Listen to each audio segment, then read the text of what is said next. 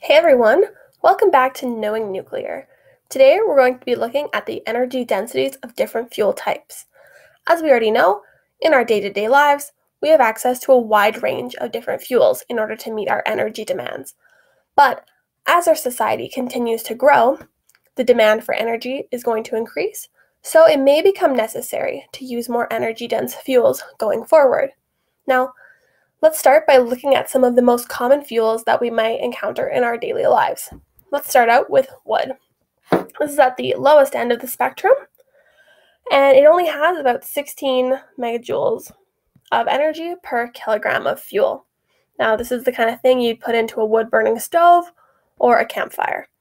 Next, let's look at coal. Now, coal is used all over the world in quite a wide range of energy purposes but it's only a little bit more energy dense than wood, sitting at 24 megajoules per kilogram. Next, we have biodiesel, which can be used to drive cars and it's typically leftover fry oil from fast food restaurants and stuff like that. Biodiesel has 38 megajoules of energy per kilogram. Next, we have regular diesel, which is an oil product and it sits at 45 megajoules per kilogram. Then we have gasoline, which we're all very familiar with, which sits at 46.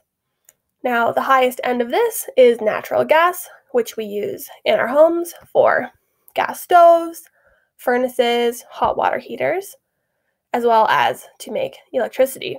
And natural gas has 55 megajoules per kilogram. Now, this seems good when you compare it to wood, but let's take a look at something that is just a little bit better. All right, let's look at nuclear fuels.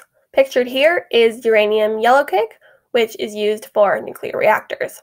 So, at a first glance, you may think this is the only thing on this graph, but notice the y axis. The scale is quite a bit different. That is because nuclear fuels have 3.9 million megajoules of energy per kilogram of fuel. 3.9 million. That is 70,000 times more energy dense than natural gas.